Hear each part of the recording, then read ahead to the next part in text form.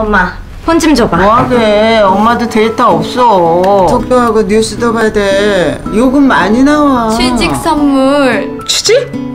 합격한 거야? 오늘부터 데이터는 엄마도 나도 무제한 무제한은 너무 비싸잖아. 가족이라 엄마는 최저 3만 원대야. 내가 기술 좀 썼지. 그렇죠.